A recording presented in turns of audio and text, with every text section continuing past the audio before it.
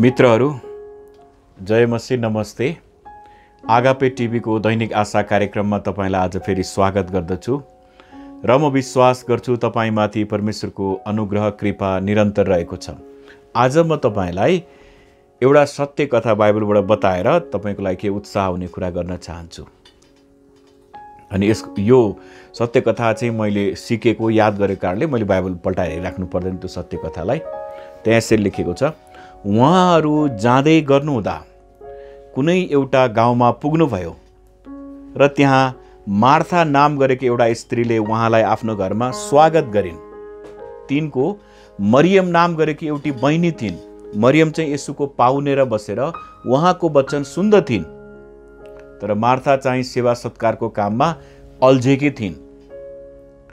मार्थाले आएर यसुलाई भनिन् प्रभुज्यू तपाईँ वास्ता गर्नुहुन्न। मेरो बहिनीले सेवा सत्कारको काममा मलाई एक्लै पारेकी छे। त्यसलाई भनिदिनुहोस् र त्यसले आएर मलाई सघाओस्।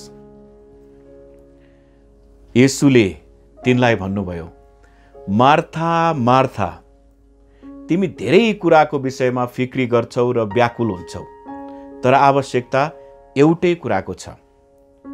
जुन कुरा मरियमले छानेकी छे र त्यो उसबाट कहिल्यै खोसिने छैन।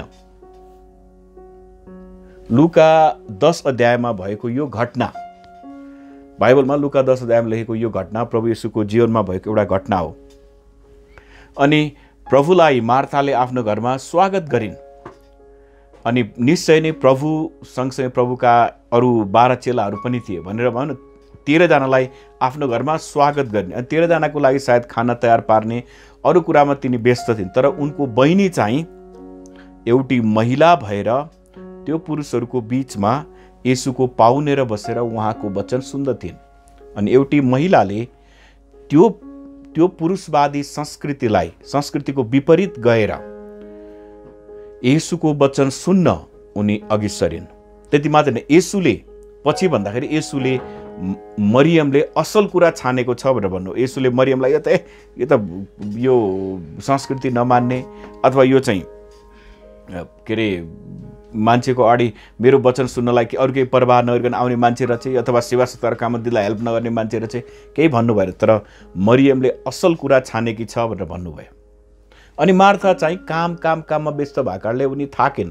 अनि आएर प्रभुलाई प्रभु तपाईँले वास्ता गर्नुहुन्न त्यो शब्द पढ्दाखेरि चाहिँ झर्केकै थियो भन्ने हामीलाई थाहा हुन्छ। अनि हामीले के बुझ्छौँ भनेदेखि उनले भन्छन् प्रभु तपाईँले वास्ता गर्नुहुन्न मेरो बहिनीलाई भनिदिनुहोस् उसले मलाई सघाओस्। प्रभु भनेको छ अनि भनिदिनुहोस् रे। भनेपछि प्रभुलाई काम हराउने काम गरेको छ। प्रभुलाई पनि काम हराएको छ। परमेश्वरलाई यसो गरिदिनुहोस्। अनिखेर तपाईँलाई कसैले आफ्नो घरमा स्वागत गर्यो र अनि त्यो व्यक्तिलाई केही कुरामा चित्त बुझेन। चित्त नबुझेपछि अनि तपाईँलाई आएर त्यसो भन्दाखेरि तपाईँ वास्ता छैन भनेर भन्दाखेरि तपाईँ सायद तपाईँलाई दिएको खानाको मजा आउँदैन होला। तर प्रभुले के गर्नु? प्रभुको कृपा परमेश्वरको कृपालाई हामी त्यहाँ विचार गरौँ। प्रभुले के गर्नुभयो? प्रेमसहित मार्था मार्था तिमी धेरै कुराको विषयमा फिक्री गर्छौ र व्याकुल हुन्छौ। तर आवश्यकता एउटै कुराको छ जुन कुरा मरियमले छानेको छ र त्यो ऊबाट कहिल्यै खोसिने छैन। प्रभुले त्यही भन्नुभयो।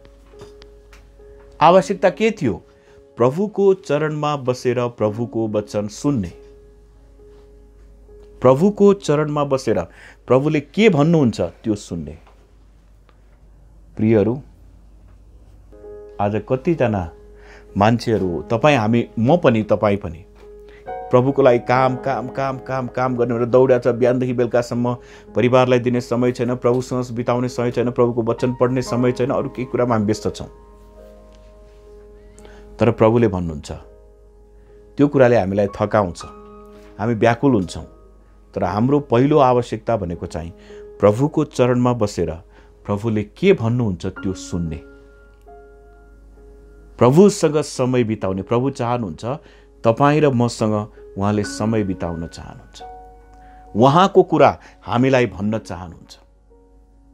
उहाँको कुरा उहाँले हामीलाई सुनाइदिएर हामी उहाँको कामको लागि प्रयोग भएको परमेश्वरले चाहनुहुन्छ। प्रभुले त्यसको लागि तपाईँलाई अन्धकारको राज्यबाट अलग गरेर उहाँ कहाँ ल्याउनु भएको उहाँसँग सङ्गति गर्न उहाँसँग समय बिताउन उहाँको उपस्थितिमा आनन्द बनाउनको लागि उहाँको उपस्थितिमा उहाँले हामीलाई आनन्दले गदगद पार्नुहुनेछ। आज तपाईँ काम काम काम कामले थाक्नु भएको छ भनेदेखि तपाईँ प्रभुको चरणमा जानुहोस् अनि प्रभुले तपाईँलाई उहाँको उपस्थितिद्वारा गदगद तुल्याउनुहुनेछ। अनि आवश्यकता चाहिँ काममा काम गर्नु हुँदैन भनेको होइन त्यो प्रायोरिटी होइन प्रायोरिटी चाहिँ प्रभुको चरणमा बसेर प्रभुबाट सिक्ने हो।